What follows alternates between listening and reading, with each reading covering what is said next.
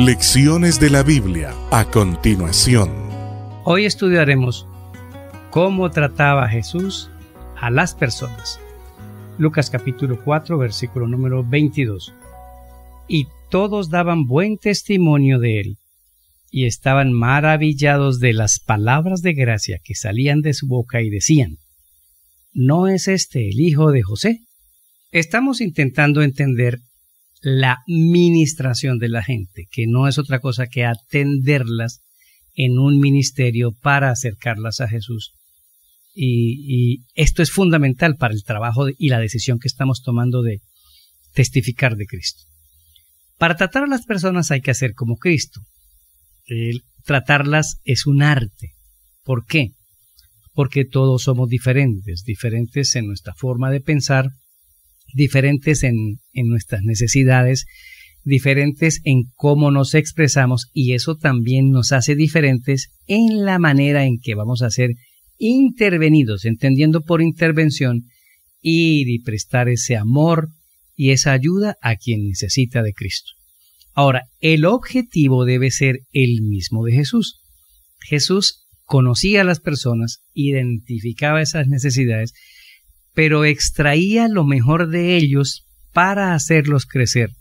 No se aprovechaba de la gente. Lo que Cristo tenía en mente al tratarlas era elevar su nivel de vida, elevarlos del estado de donde se encontraban. Y cuando Cristo lo hacía, le ayudaba a las personas a descubrir cuán valiosos eran y ahí ocurría toda una explosión en la vida de las personas, porque esas personas impactadas de esa forma comenzaban a servir a los demás. Y aquí hay mucho por aprender sobre cómo tratar a las personas.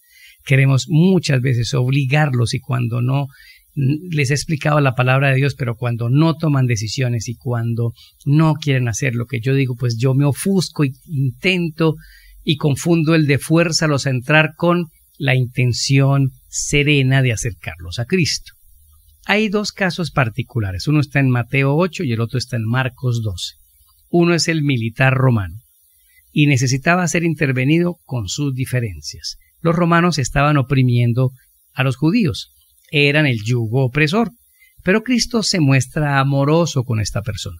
Y a Jesús le llama mucho la atención la fe de este militar que le dice, Señor, usted no necesita ir hasta mi casa. Yo creo en su poder Diga desde aquí y verá que mi siervo va a ser sanado. Y Cristo no se quedó callado.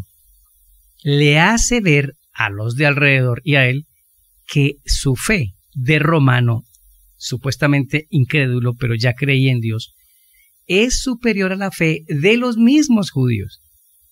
Este hombre tuvo que haberse regresado a casa con una doble copa de aliento para su vida y me imagino que en su modo de vivir y de ser predicó a su legión el Evangelio de Jesús y amó a Jesús. Y el otro caso es de un escriba de la ley, de alguien que sí conoce la verdad, que sí estaba identificado con ella. Y hay un diálogo y en la respuesta, en la respuesta que del escriba, Cristo lo alienta. Oye, estás cerca, estás cerca, como quien dice, ánimo, adelante que vas llegando. Cuando tratamos con las personas debemos entenderlas Debemos darles palabras de aliento.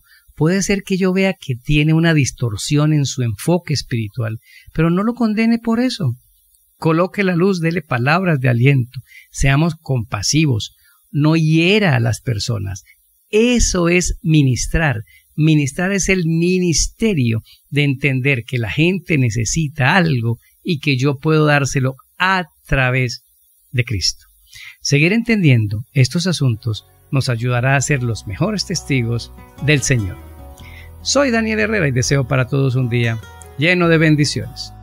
Inscríbase a nuestro canal de YouTube Daniel Herrera Jerez.